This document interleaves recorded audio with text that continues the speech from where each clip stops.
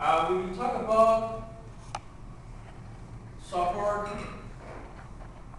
vector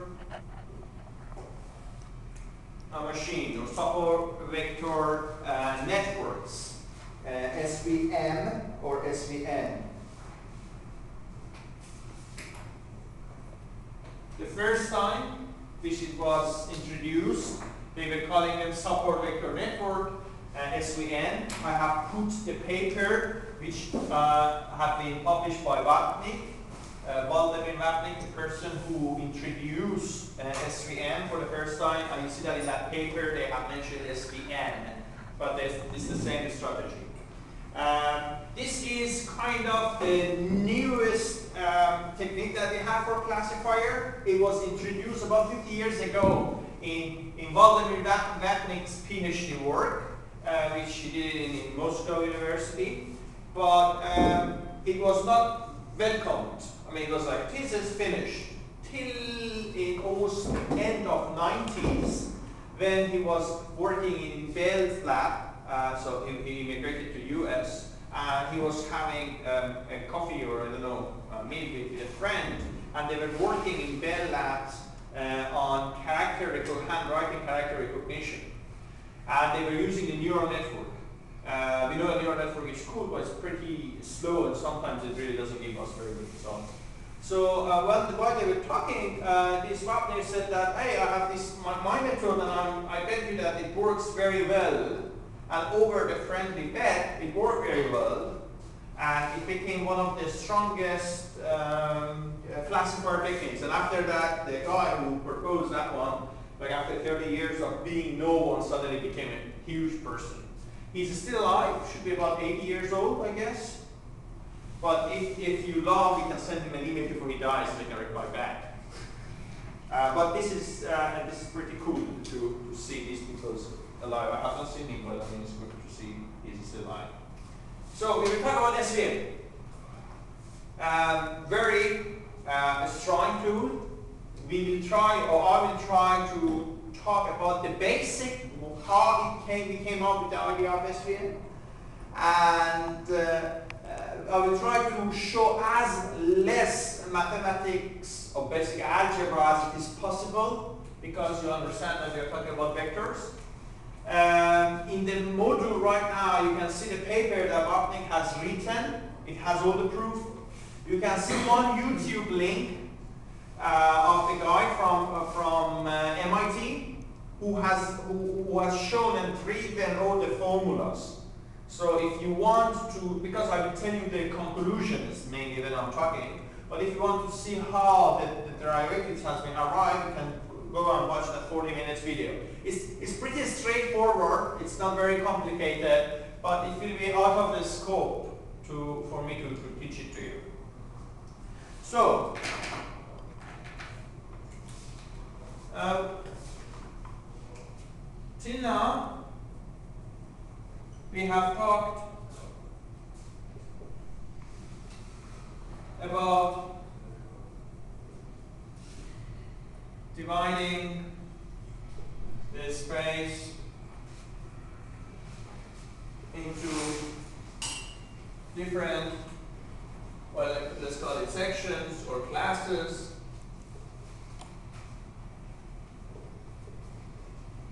There are many methods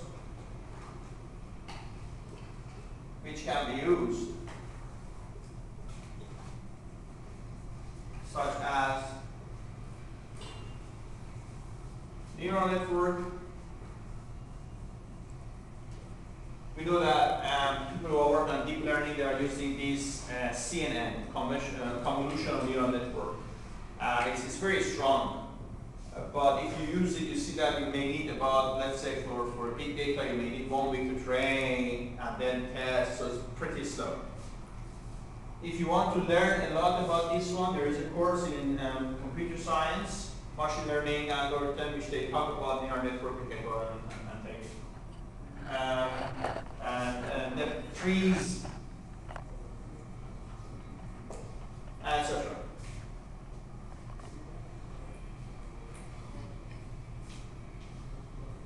Today, we will learn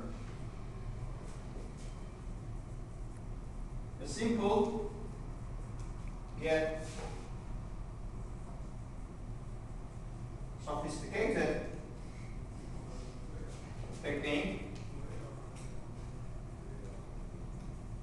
which is developed for classification. Now, um, it has been developed mainly as a binary classifier, yes, no, uh, uh, plus, minus, zeros, ones, but you can use this binary classifier in order to make a multi-class classifier. Uh, for your homework that we will talk later, you have to use the SVM function. If you use MATLAB, it's already a built-in function. But you will see that I don't know about OpenCV, it's high probability we have it as a uh, binary classifier. But what you need to do, you have to develop the multi-classifier from this binary classifier. Or if you can find a code for well, multi-class SVM, you can directly uh, uh, use it. Now, in order to talk about SVM, I need to have an example.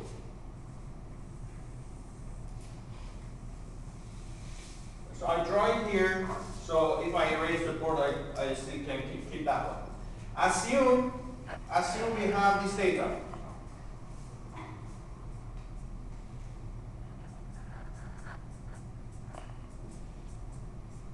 Okay?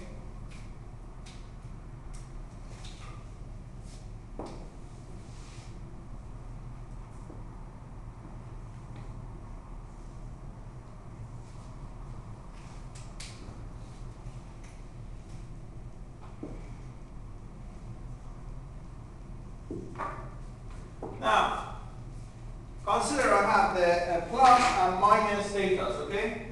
And I have these um, three dots, the blue and the, the red dots. Question. Uh, you know that if I have two dots, I can draw a line and connect them, right? For two, two dots, two points, I can draw a line. Can you tell me that which line can I draw, uh, can I draw that connect a blue to a red dot which can separate the uh, positive from negative in the best form. Yeah, uh, it seems that this is like, like a best.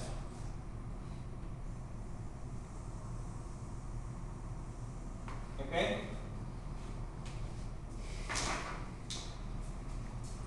We can have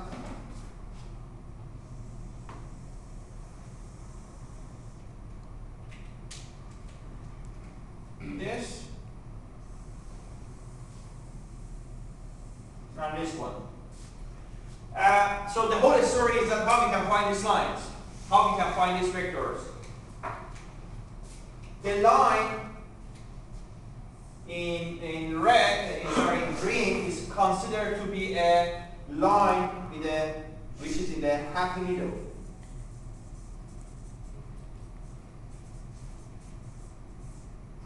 Or technically speaking, this is the line which has the least commitment. This is a line which has the least commitment. For our example,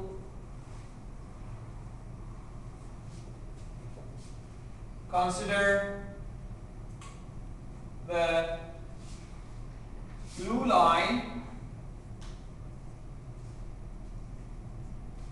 as the line which is closest to the positive class but it does not cross over them. Uh, what do I mean? It does not cross over them. What will happen if this line, if this line cross over them? I start to have misclassification. Because right now I understand if I look at this one, whatever is on uh, on the figure of speech on the right side of this line is, is positive, uh, whatever is under this line, the left side is, is negative. So if I cross over, I will cause some misclassification. Similarly, the red line is the closest to the negative class, but it doesn't cross over them. So we'll have no uh, misclassification. And we understand the green line is the line which has the maximum distance from our um, we, we can call these two lines as boundary conditions because they are the, the limits, right? We cannot we cannot go further uh, above of this line or below of this line, otherwise we cause some misclassification. So it has a maximum distance from our uh, boundary condition, conditions that we have defined. It satisfies the least commitment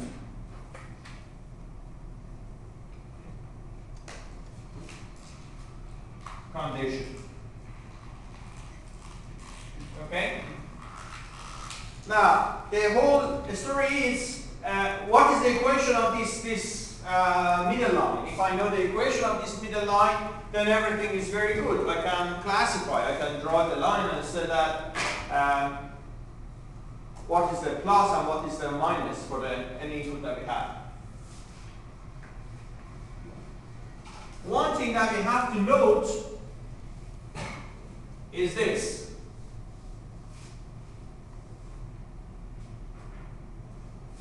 We try to find the equation of, uh, we understand this is 2D, right? So we draw a line, but in general, if, if we are not 2D, um, we won't have a line. What do we have? Hyperplane. We try to find the equation of the hyperplane in which, now, do you know, if I have the line, or if I have the hyperplane, how can it help me in order to make the classification? We never talked about it because we assume everyone knows. But do you know what is the what is the task of this line or hyperplane? Well, if, if the values are like bigger than that. If I give an input, I project it on this line. And based on the value that I get, I decide whether I am positive or I'm negative. So this is a special equation. You put your x values, your data, and what you get as an output will tells you you are in plus or you are in negative. Okay? So uh, in which uh, we try to find the equation of the hyperplane which if we project a point, this can be like the query point. This can be the input onto it. Uh, it results it results into a value telling us which class point belongs.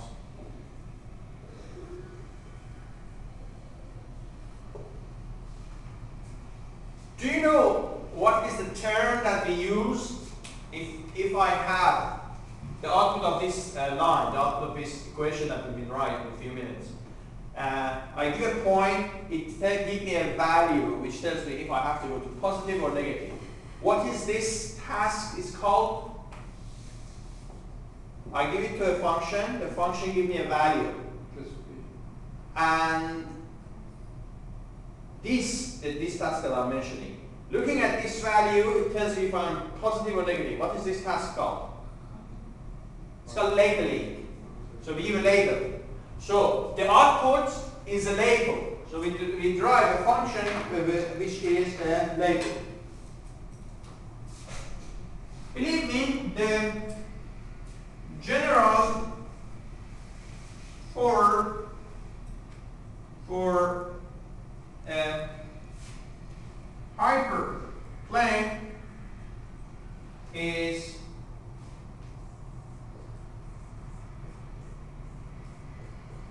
this.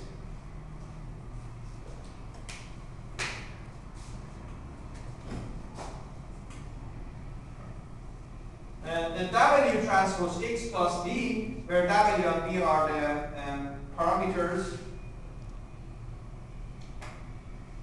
of the plane.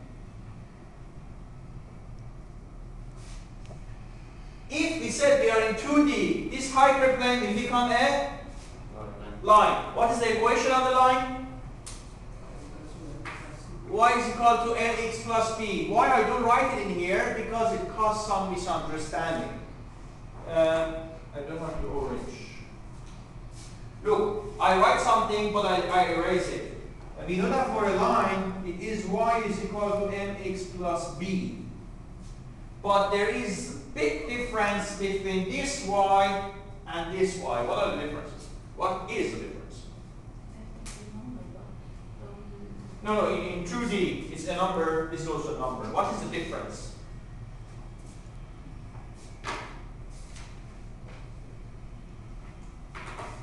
Y is a vector. Sorry? The Y is a vector. Um, well, in 2D, it's a number. You, you, you, get, you get a number. Sorry? We are talking about uh, the Hyperplane in 2D will become a line. This is a line, this is a line. When we write the equation of line, this is the y dimension. When we are here, what is this y? It's a label. This is a value which is folded inside x. It doesn't give us the one y dimension, you know, the pair of x and y. This is not the same thing. It gives us a label. This one results into a label. That's why that, although we know that they are aligned, we don't write it in this form because they have different representation. Finally, it's a number. It's a number. I understand. But this is a label. That's a y dimension. That's why I don't write it. I, I prefer this more complicated uh, notation. So, this is good because we have uh, the shape of a, a formula that if uh, you look at the Vapnik's paper, you can see that, okay, this is almost the same formula that he started with. Uh, uh, let's see how we can proceed. How we can uh, proceed. So this is the equation of the line which we want to find, a hyperplane that we want to use in order to help us whether uh, we are in a positive class or if we are in a, in a negative class. One up question. If we are exactly on the boundary condition, this time I mean the green line.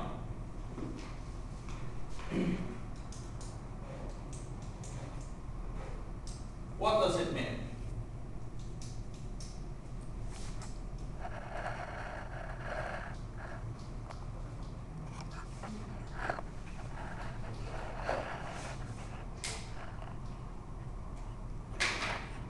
Choose wrong features. If we are exactly, if we are exactly, and we are not talking about features. If I'm exactly on the line, what does it mean? If I'm exactly on this line, what does it mean? It's very hard to classify. Any other opinion? Okay. And I'm same opinion, it's hard to classify the, the things. If you are in there, it's very hard. So, like you say, it's very hard. I am on there. Can you tell me that what I am? We cannot make a decision. It's impossible. Uh, it's, it's it's not very impossible. Uh, it means we are not So, positive or negative. So what we are?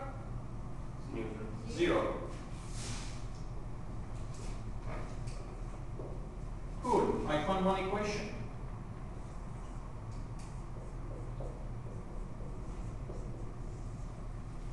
I equation. If another question.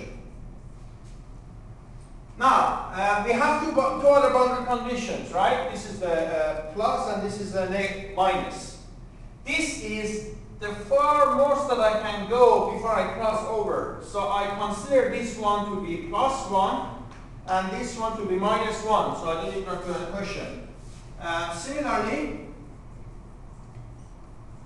we can say the equation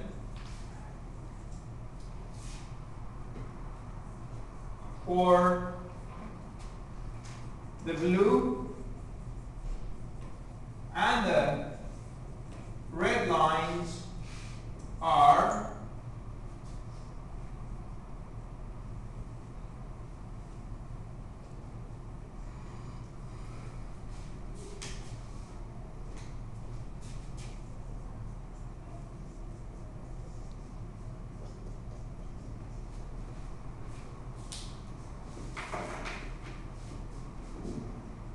okay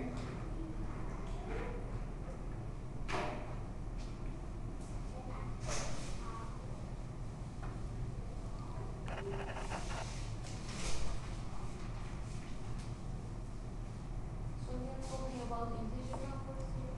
Yeah, I define this, this one to be minus 1, this one to be plus 1. In other words, uh, in other words, we calculate y is equal to, and then we say that if y is greater than 1, then we are positive 1 is less than equal than minus 1, we are negative. What will happen if we are between 0 and 1? Then it means that we are, we are positive because we are on this side. If we are between 0 and minus 1, it means we are in here. So we don't talk about this, translation part because if you have new data in here, then you have to apply again and find, find a better line. Okay? So we can, uh, it's, it's not necessarily an integer, it can be any number, but by looking at this one, by looking at the value, we can just make the conclusion what which class we are. Someone was saying something? Uh, Can you also apply probability uh, being in the no man's zone? Well, uh, there, we don't define the no man's zone, but uh, we can do this one by using probability. Actually, we can use something called Bayesian rule, which with high probability we will talk about them uh, after I come back from France. And you see that we can do the classification by- based on probability. Here we don't have a probability. We have a very nice, uh, lovely algebra. So, what is the aim? We have the equation. What is the aim? Because we have to define an aim. The aim is this. Look at this vector.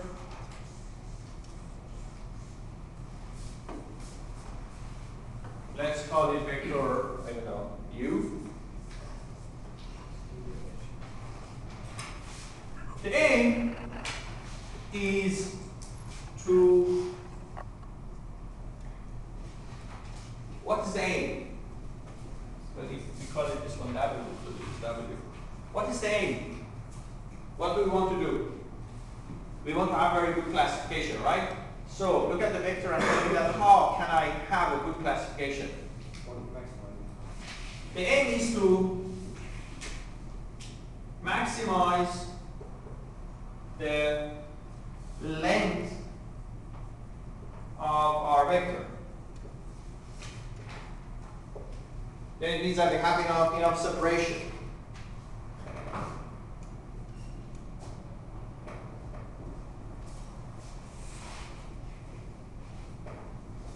Uh, the vector will be perpendicular to both lines that we have, both lines that we have, we understand that they are parallel, both parallel lines. Why they are parallel?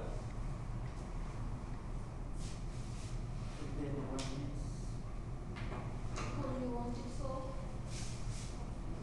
Uh, Distance between the green and blue and the green why they are parallel? and red are, uh, Because- are always one, is always one. No, There should or be it's some. equal. What is the, the, the definition of, uh, uh, let me, what is the definition of two parallel lines? No, visual cross. Yes, that's why they're ca- parallel. If I give you two equation of the lines, how can you understand that they are parallel or not? Yes, we look at the slope. The slope of the lines are the same. What are the slopes in here? They have the same slope. They have the same slope, so it means that they, they are parallel. These, this part plus minus ones and the b's are only tell us how they have been shifted. Yes? I have a question about the equation where, where you Yeah. find y. If there's like if y is bigger than one or y is less than minus one, there's nothing about when y is between minus one and Yeah, this is what I mentioned. It can be, if it is between 0 and 1, it means that, okay, we are in the, in the positive, but we are introducing new data. Then, then what, we- no, you can, you can use still this one. You can use still this one to classify, no problem. so it's bigger than bigger. No, no. But then, if you have a new data in here and you put it in here, then you have more data, then it means that you can draw now new lines. Okay. Did you get my point? Look, if, if you have a new plus in here, if you have a new plus in here, imagine you have a new plus in here, what happens? Then your blue line will come in here. Then your green line will be shifted.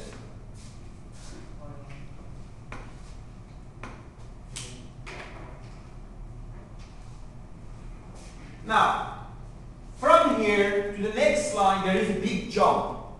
There is like 30 minutes mathematical proof, which you can watch it on, on, on that YouTube video. But we don't do it, I just write the a result, and I hope that you trust me. Geometrically, the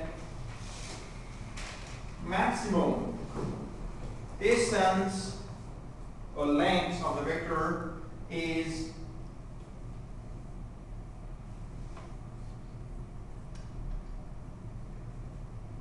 two over the norm of W.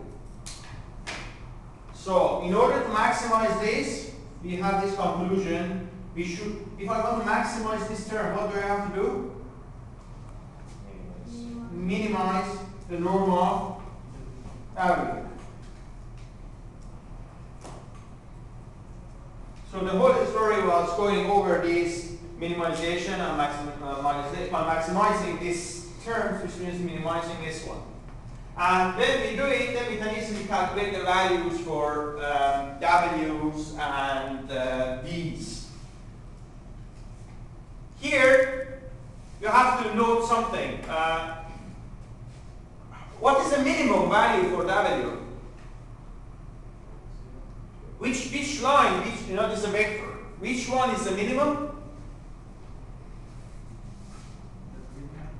I have two parallel lines, and I can draw infinity many lines, which is crossing both of them, right?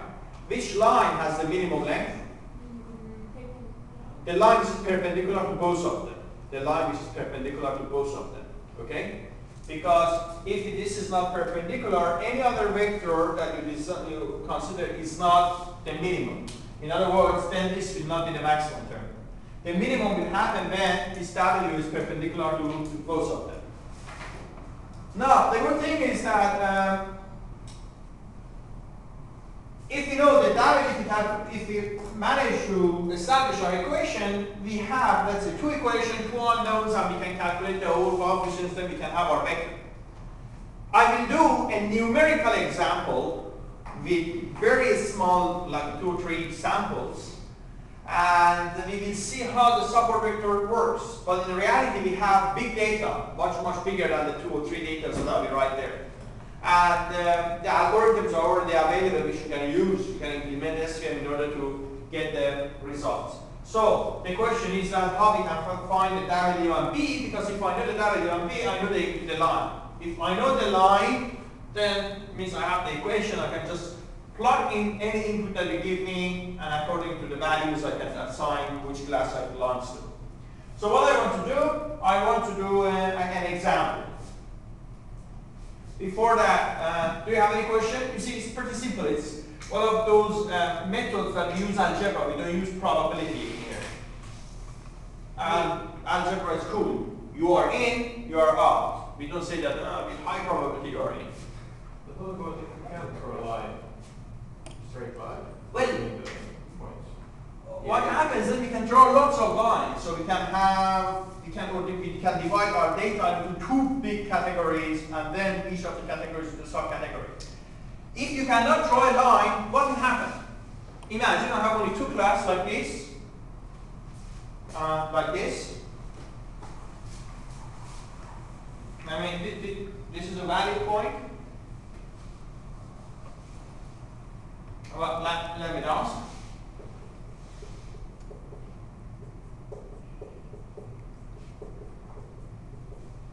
What will happen? Here, definitely you're gonna draw a line. What will happen? There are two solutions. One solution which is very popular is this. I will try to transform this one to another domain. By another domain, I don't tell you that go to frequency domain. Do a transformation, go somewhere else, and do all this operation. Actually, if you look at the main uh, driving of this one, we are not writing x, we are writing something called phi x. It means that we are transforming into another uh, coordinate which you can draw the lines. Imagine you cannot find this phi x. Or you insist to stick with this one and you want to draw the line. And you know that you cannot draw the line. What will happen now? Yes, you can draw a line, but you accept that you have this classification. You still have defined line then, or like how do you define this line? then? Well, then it's up to you how to define. Or uh, there are also optimization which is going behind the algorithm when they, they find a line. So they try to find a line which maximum number of positives are on the right and maximum number of negatives are on the left. But as we are doing the crossovering, we, we are doing a very nice example here, but as we have class over this we do then this classification. Using this transform, this transformation is not necessarily guaranteed that you have no misclassification. Yet you can have a misclassification because you don't know what will happen in there. Sometimes you cannot find these good file which can really separate them so you can draw the lines. Also, remember, we are, we are drawing the lines based on all the data that we have. And this is some sample of the big data that we have in our hand, right? So maybe there exists some other data which are plus and they are really much into the negative parts.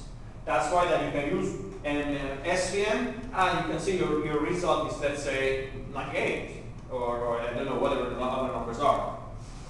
So it doesn't mean that multi-class SVM or binary class SVM, you use it and you get definitely 100 percentage of recognition. But it still is, is the best. So as I mentioned, uh, I don't write it here, but usually we, what we do, we are transforming from one domain to another domain in order to have a better separation. Okay, Linda? Now, let's do one numerical uh, example. Um, this is a good example because uh, it's numerical. It can be an exam.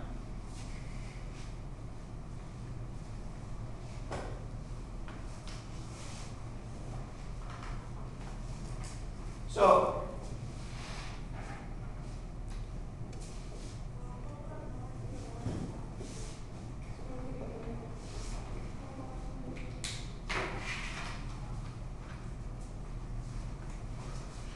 suppose we have two features, x1 and x2,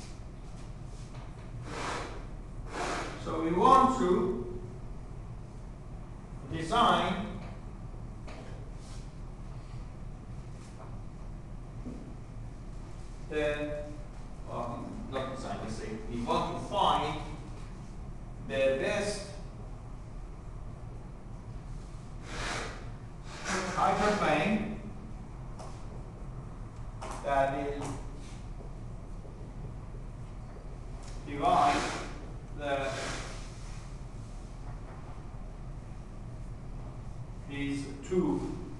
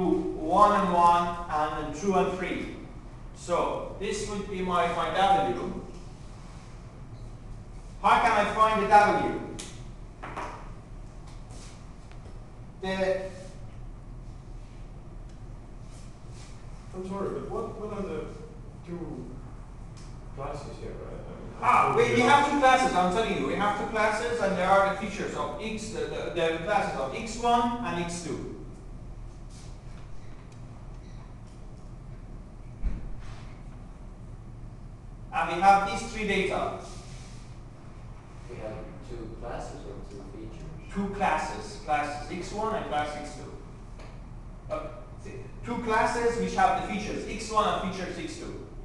So, and we are showing them as a pair of two zeros, one one, and two three. And now we want to use SVM in order to divide them into two classes. They understand that uh, one one is one class and two the point two three is I have one one, two zero, two three, and there are two uh, classes. two zero is point one. So we have three data, and each, these data have two features. That's why that I can show them with um, um, pair.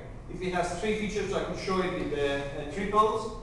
And the question is that tell me a line which can, I can use in order to say that, huh, these are one class, the other one's another class. So we don't know classes, but we want to divide them into classes? Yes, so we want to find a vector which actually give us this maximum distance. And we can see that the maximum distance can easily happen when we have it between 1 and 2 and 3.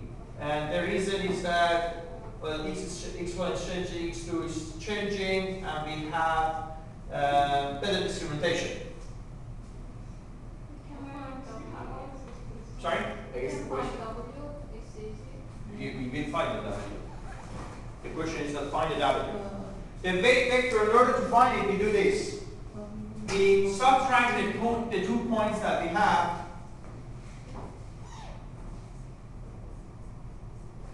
but two vectors that we have. And what we get is uh, 1 and 2. So the vector W will be, I multiply by a constant, let's say A, and 2A. Because this is this is a vector. This is a vector.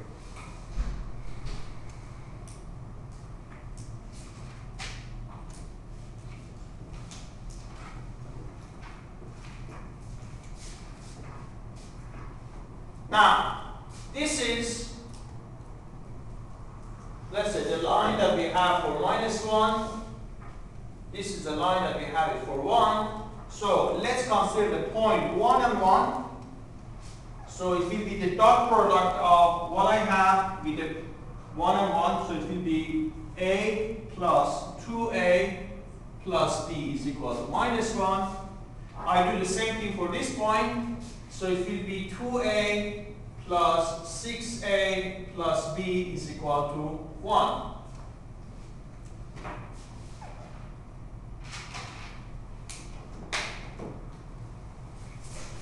This is for the point 101.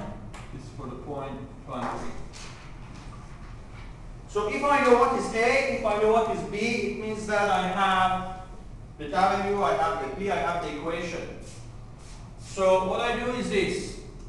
Here I have 3A plus B is equal to minus 1. Here I have 8A plus B is equal to 1. Two equations, two unknowns. You can, you can solve to find the values of A's and B's. This one.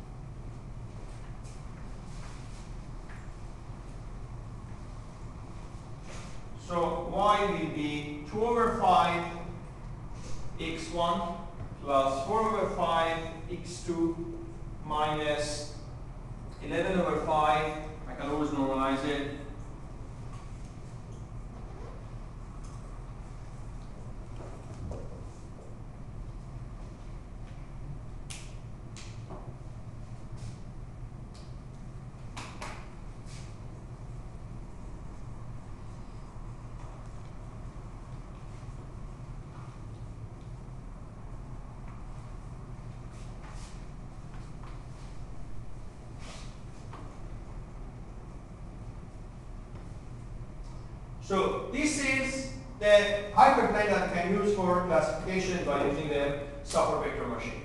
But we don't have uh, two features in the reality and we don't have only two classes. So what we want to do is this. We want to do the next one.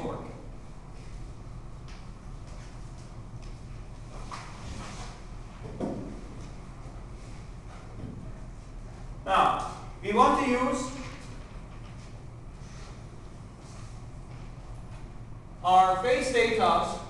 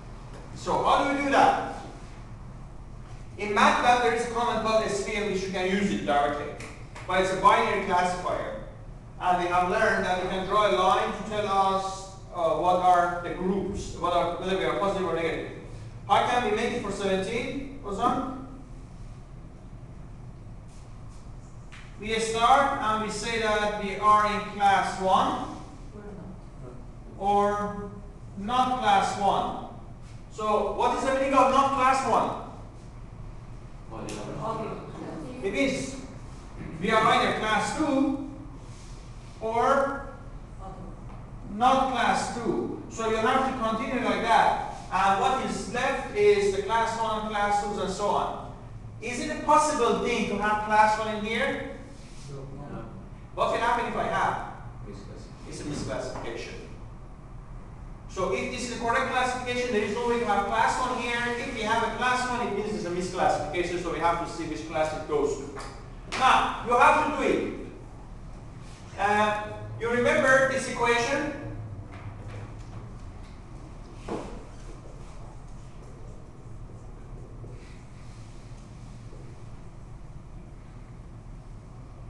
So, uh, we have the faces. What are our features?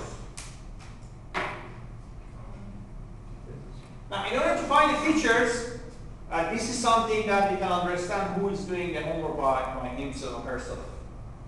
You can use any feature that you like. Can you tell me that uh, what are the features that you can use? Pixels. Sorry? Pixels, you can use the whole, you can make it a vector and give it all in. This is one way. Very naive way, but this is a way. Naive in the sense that we have lots of common things in the background and so on. What else? Definitely you know one of them. What was the first feature extractor technique that we learned? PCA. PCA. We can use the PCA. All of them or some of them. What else? LCA. You can use ICA and ICA will tell you that which features are very important. You can just grab some bunch of those features and, and fit it into the system. So it's up to you to choose what are the features that you want to use. You can go on the internet and you can see that how people are extracting some other features, but we want to, to do this one. Okay? And you are using it on your computer, so we don't have any processing or, or time constraint. In other words, you can use the whole features of PCA as an input if you want to. So this is your homework two, uh, homework three. Is homework three, Yeah. uh, which you will have, let's say, 30 days, one month, in order to do it.